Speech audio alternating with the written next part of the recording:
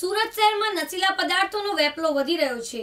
ત્યારે સુરત એસઓજી પોલીસે મૈતરપુરા વિસ્તારમાંથી છસો એક ગ્રામ ચરસ સાથે એક આરોપીની ધરપકડ કરી છે.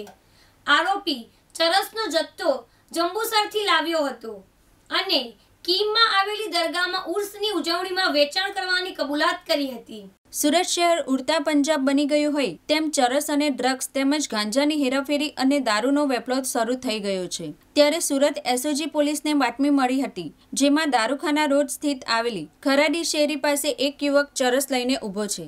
તેવી બાતમી મળતાની સાથે તરત પોલીસ આરોપી ગુલામ રસુલ શેખની ધરપકડ કરી હતી.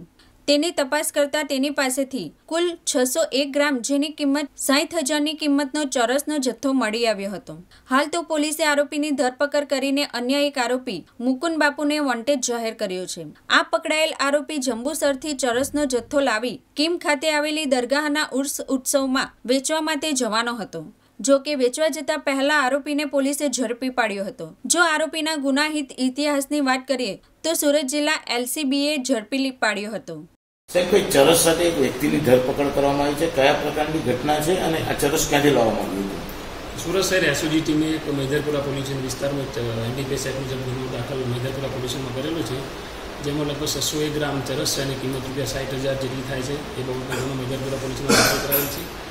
અને આ ગુનામાં જે અમતદાર છે એ ચરસ જંબુસરથી લાવેલો હતો અને આજે જે કિંમત ઉષ્ણો મેળો ભરાય છે એમાં વેચવાનો હતો. એવી હકીકત જણાવી છે. સાહેબ ગુનાહિત ઇતિહાસ અને આ જે તોમતદાર છે જે ગુલામ રસૂલ એ અગાઉ પણ એનસીબીએ એને એની પર ગુનો દાખલ કરેલો હતો અને એને દસ વર્ષની સજા કાપીને બે હજાર અઢારની સાલમાં પણ એ છૂટેલ છે.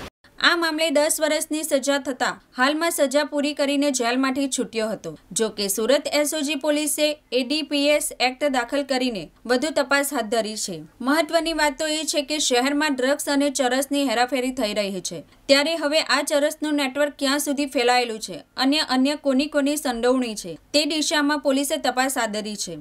કેમેરામેન સાબી સૈયદ સાથે સોનલ ટોપીવાલા દિવ્યાંગ ન્યૂઝ સુરત.